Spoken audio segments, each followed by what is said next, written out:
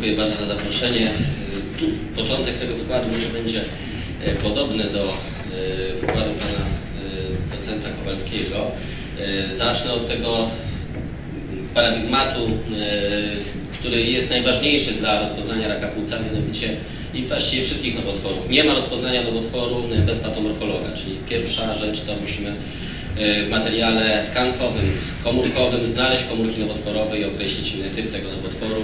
E, biolog molekularny też nic nie zdziała, jeżeli nie będzie wiedział, co diagnozuje, czyli nie będzie wiedział, czy tam są komórki nowotworowe, czyli ten nawet najstarszy mikroskop świetlny jest podstawą, żeby rozpoznać e, nowotwór, natomiast ta najnowocześniejsza aparatura e, biologii molekularnej nie wystarczy do tego.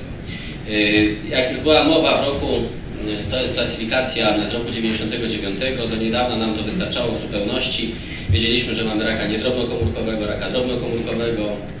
W niedrobnokomórkowym, w zależności od stadium zaawansowania, mogliśmy zastosować zabieg operacyjny. W tych późniejszych stadiach radiochemioterapię bądź chemioterapię. W raku drobnokomórkowym mieliśmy tylko dwie metody, radiochemioterapia bądź chemioterapia. Tutaj zabiegu operacyjnego nie stosowaliśmy ze względu na to, że ten nowotwór był zazwyczaj od początku już zaawansowane, od początku były e, przerzuty. No ale coś się zmieniło i jeżeli będziemy pytać, co się zmieniło, no to zmieniło się zazwyczaj, zmienia się zazwyczaj to, że pojawia się, pojawiają się wielkie pieniądze. E, mianowicie weszły terapie ukierunkowane molekularnie. To są stoiska firm farmaceutycznych z tego roku z, z Wielkiego Kongresu ASCO w Chicago.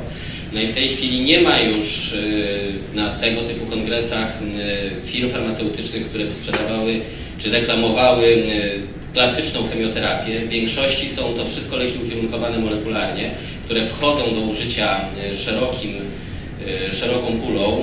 Druga rzecz, która się zmieniła, to zmieniły się nawyki dotyczące palenia papierosów. E, mimo wszystko akcja przeciwko nałogowi w pewnym stopniu się powiodła, co było widać na tych krzywych, ale to spowodowało raz, że zmniejszenie zapadalności na raka płuca, ale również spowodowało zmianę rodzaju zachorowania. Pojawił się nam przede wszystkim rak gruczołowy, a zmniejszają się zachorowania na te typy raka typowo tytoniozależnego, czyli głównie raka płaskonabłonkowego. No i druga rzecz, zmiany zachorowań w populacji azjatyckiej, gdzie za chwilę powiem, jest zupełnie inny profil molekularny tego nowotworu. I trzecia rzecz, która się zmieniła, to wprowadzenie najnowocześniejszych metod diagnostycznych, typu na przykład e, ultrasonografii wewnątrzostrzelowej z pobraniem materiału przez ścianę oskrzela, czyli e, pojawi się taka nazwa EBUS e, TBNA i najnowocześniejsze gabinety bronkoskopowe. To są trzy rzeczy, które spowodowały dramatyczny rozwój dwóch dziedzin, a właściwie trzech. Przede wszystkim patomorfologii, po drugie biologii molekularnej i po trzecie różnych metod terapii ukierunkowanych molekularnie. Na tym slajdzie widać te różne metody i co z tych metod diagnostycznych udaje nam się uzyskać, jaki materiał do badania patomorfologicznego. Teraz wolimy używać słowa patomorfologiczne badanie niż histologiczne czy cytologiczne, dlatego że w ramach coraz częściej diagnozujemy same komórki nowotworowe, a nie tkankę nowotworową, czyli uzyskujemy z biopsji pojedyncze komórki. I tu y, dalej ten materiał jest przetwarzany. Najczęściej ten materiał jest przechowywany w postaci bloczków parafinowych, czyli odpowiednio utrwalony, potem zatopiony w parafinie, tak żeby odtwarzalnie można było tą tkankę potem y, wykorzystać do kolejnych badań patomorfologicznych i molekularnych. Y, coraz rzadziej mamy preparaty cytologiczne, czyli z tego materiału, z tej igły komórki są nanoszone na szkiełko i potem poglądane przez patomorfologa po odpowiednim zabarwieniu. Dlaczego coraz częściej mamy ten materiał, duży materiał w bloczku parafinowym, a nie na szkiełku? Dlatego, że na szkieł, szkiełko się zużywa. Jeżeli chcemy wykorzystać takie szkiełko mikroskopowe do kolejnego badania, na przykład biologii molekularnej, to musimy te komórki nowotworowe z tego szkiełka usunąć i wykonać badanie genetyczne, wyizolować DNA. Natomiast bloczek parafinowy jest materiałem odtwarzalnym, w pewnym stopniu oczywiście, bo w końcu ją się zużyje, natomiast możemy wielokrotnie wielokrotnie z bloczka parafinowego odzyskać tkankę nowotworową czy komórki nowotworowe i wykonać kolejne badania molekularne czy patomorfologiczne. No i zmieniło się przede wszystkim to w patomorfologii, że pojawiły się nam przeciwciała monoklonalne do technik immunohistochemicznych. Jakie to ma znaczenie? Jak już mówiłem na początku, mieliśmy rozpoznanie raka nie drobnokomórkowego, drobnokomórkowego. Już mówił pan docent Kowalski, że coraz częściej musimy głębiej wejść i określić typ, podtyp nowotworu. I do tego służy technika immunohistochemii, czyli za pomocą przeciwciała znakowanego odpowiednimi barwnikami znakujemy sobie komórki, zwłaszcza w preparatach cytologicznych i wiemy, że jeżeli mamy wybarwioną cytokeratynę piątą czy szóstą, to jest to raczej rak płaskonabłonkowy. Jeżeli pojawia nam się przeciwciało, które związało się z antygenem TTF1 czy cytokeratyną siódmą, to raczej jest to rak gruczołowy. W związku z tym to ta lista różnych rozpoznań raka płuca stała się bardzo, bardzo szeroka i patomorfolodzy starają się nam jak najdokładniej powiedzieć, z jakim typem raka mamy do czynienia. E, proszę zobaczyć, jak się zmieniło to przykład naszej kliniki, naszych pacjentów. No niestety nie mamy takiego narzędzia, jak tutaj mówi, była, była mowa na temat rejestru raka płuca dla zaawansowanych postaci nowotworów, jeśli chodzi o typy nowotworów w Polsce. Nie wiemy, jakie mamy typy nowotworów i ile tych e, ludzi choruje na poszczególne typy nowotworów. E, rok 2003 i 10 lat później. Rak gruczołowy, wzrost, to jest ta sytuacja, o której mówiłem, czyli zmiana nawyków, jeśli chodzi o palenie papierosów. Rak płaskonabłonkowy też wzrost. Ale dlaczego? Dlatego, że proszę zwrócić uwagę, jak dramatycznie zmieniło się, zmieniła się, zmienił się odsetek chorych z rakiem wielkokomórkowym i rakiem niedodiagnozowanym, czyli tym, tym nosem tak zwanym. Dlaczego? Rak wielkokomórkowy przestał być rozpoznawany z tego względu, że mówi się w tej chwili, że można ten rak, tego raka można rozpoznać tylko i wyłącznie z materiału operacyjnego, czyli po przebadaniu całej tkanki, i okazuje się, że większość tych raków wielkokomórkowych to nie są raki wielkokomórkowe, tylko raki gruczołowe bądź płaskonabłonkowe i zastosowanie technik immunohistochemicznych spowodowało, że nie, nie ma już tych typów, które kiedyś były nierozpoznawane do końca. Natomiast nie mogę zinterpretować i nie mam żadnych danych na ten temat, skąd w Polsce, a właściwie w naszym województwie obserwowany jest taki dość dramatyczny wzrost zachorowania na raka e, drobnokomórkowego. Możemy tu rozważać na przykład wpływ radonu, jeśli chodzi o nasze źle wietrzone pomieszczenia, bo ten radon jest w różnych y, gazach, y, które są wykorzystywane w gospodarstwach domowych. I teraz to, co była mowa już, jeśli mamy dokładny typ, typ patomorfologiczny raka płuca, to możemy przypuszczać, że w pewnych typach będziemy mieli pewien profil molekularny, na przykład mutację EGFR, na przykład mutację w genie KIRAS, za chwilę będę to wyjaśniał, ale Generalnie na razie nie możemy powiedzieć, że jeżeli rozpoznaliśmy raka śluzowego, to my nie będziemy badali mutacji w genie EGFR, e, tylko będziemy badali mutację w genie KIRAS. Nie ma takich, takich wytycznych. Jeżeli mamy raka gruczołowego, to określamy pewien profil molekularny tego nowotworu w celu kwalifikacji do odpowiedniego leczenia. Ale mamy wielki dylemat i patomorfolodzy i biolodzy molekularni. Mamy coraz bardziej ubogi materiał, coraz doskonalsze metody diagnostyczne typu biopsja przez ścianę oskrzela, ale jednocześnie coraz większe wymagania, coraz więcej badań i patomorfologicznych, i genetycznych musimy wykonać. I proszę zwrócić uwagę, to jest, są nasze znowu badania lubelskie, jak, zmienił się, jak zmieniła, zmieniła się ilość materiału, który, którym my dysponujemy. W 2011 roku to jest materiał przesłany na badanie mutacji w genie EGFR. W 2011 roku mieliśmy materiał tkankowy niemal w 75%. Obecnie mamy już tylko nieco powyżej 50% materiału tkankowego, czyli takiego dużego materiału poperacyjnego w bloczku parafinowym, natomiast coraz bardziej rośnie nam udział cytobloków, czyli tych komórek pobranych na przykład z biopsji wewnątrzprzezostrzalowej i rośnie, ale nie, nieznacznie materiał, który jest przechowywany na szkiełkach e, mikroskopowych, czyli takich typowych cytologicznych. Czy jest jakieś, jakaś przyszłość? No, być może, że taką przyszłością y, dla badań genetycznych przede wszystkim, bo myślę, że nie patomorfologicznych, będzie płynna biopsja. Co to ta płynna biopsja? No oczywiście możemy mówić tu też o płynnej biopsji wewnątrzoskrzelowej, ale mam tu na myśli y, krew obwodową.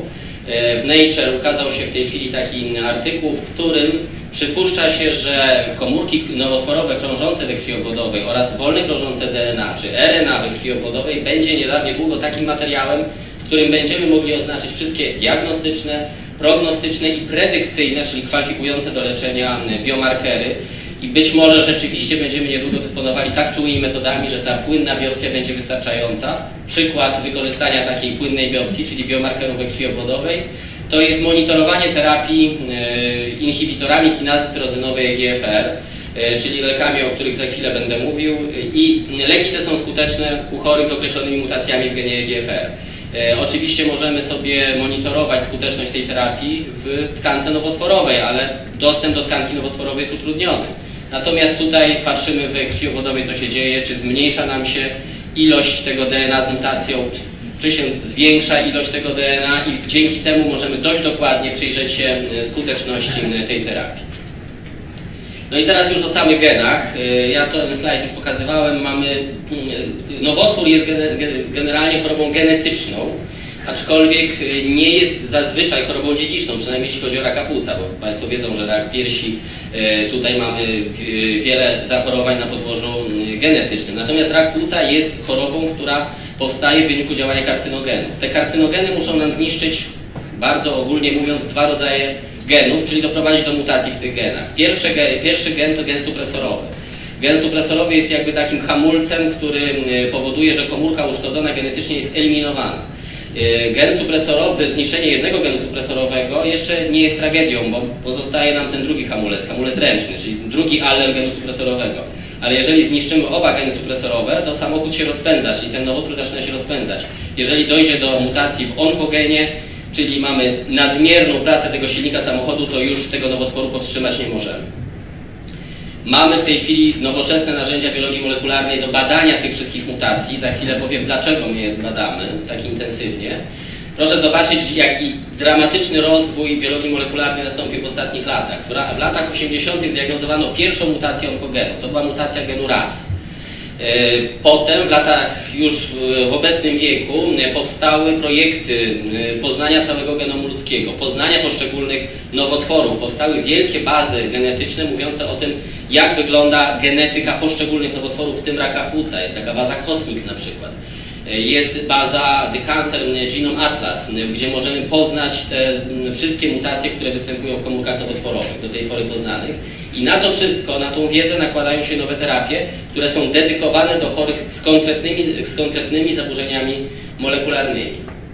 Gdzie te zaburzenia? No, tu niestety skomplikowany szlak, ja oczywiście go nie będę omawiał, ale tak to mniej więcej wygląda. Czyli musimy wiedzieć, które z tych białek jest uszkodzone. Ono jest oczywiście uszkodzone z powodu mutacji w genie go kodującym. Niestety to nie koniec. Kolejne białka, tak zwane białka RAS.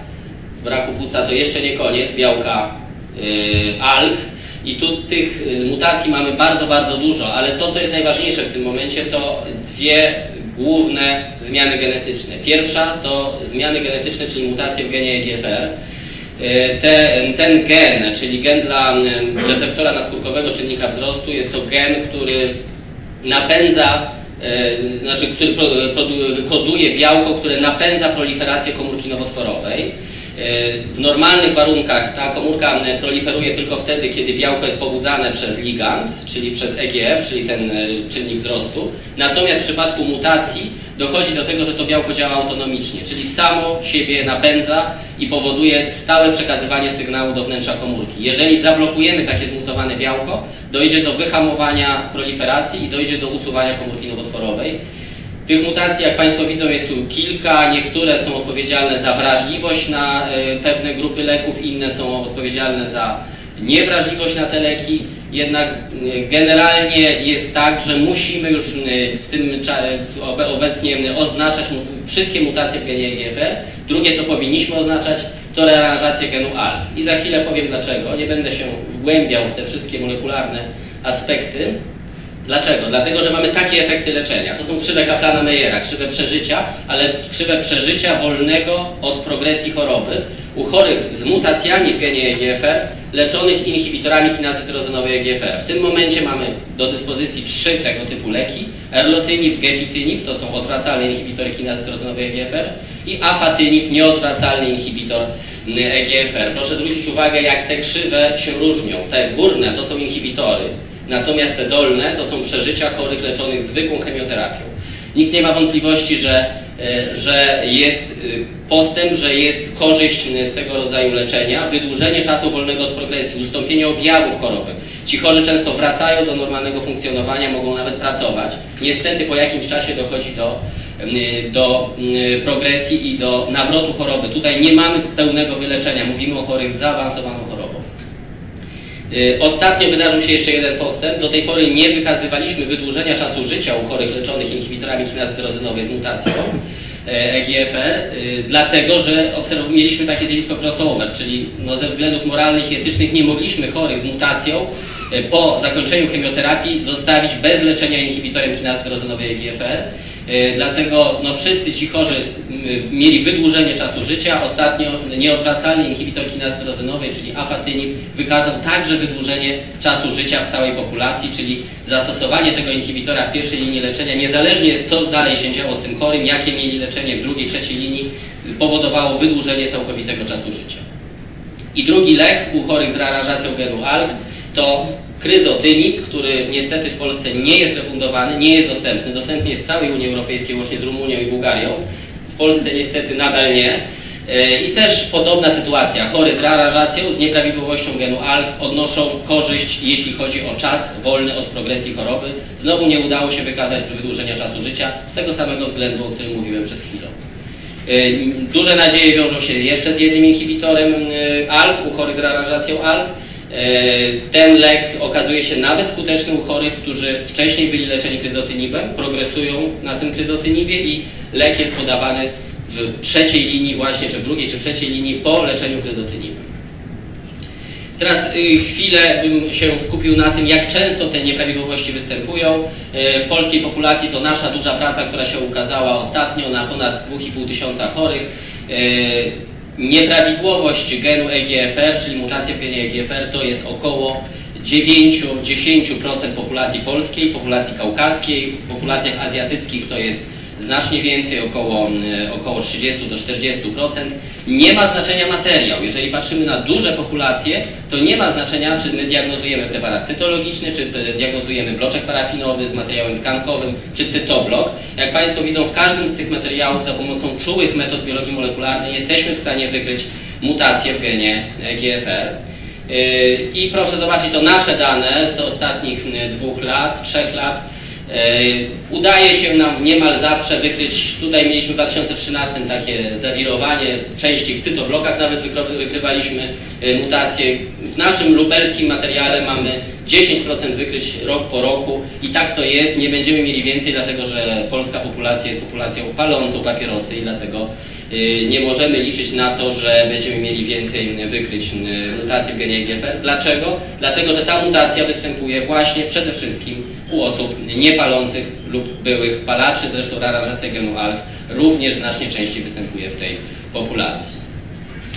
Tutaj mogę się pochwalić jeszcze jedną rzeczą, którą udało nam się ostatnio dokonać, mianowicie większość krajów Unii Europejskiej miała już swoje zalecenia metodyczne dotyczące badań mutacji w genie EGFR i ALK. W Polsce E, rozpoczęliśmy od prac w Ministerstwie Zdrowia nad odpowiednimi e, rozporządzeniami ministra zdrowia. To trwało już 3 czy 4, trwa 3-4 lata, nadal trwa i nie widać końca.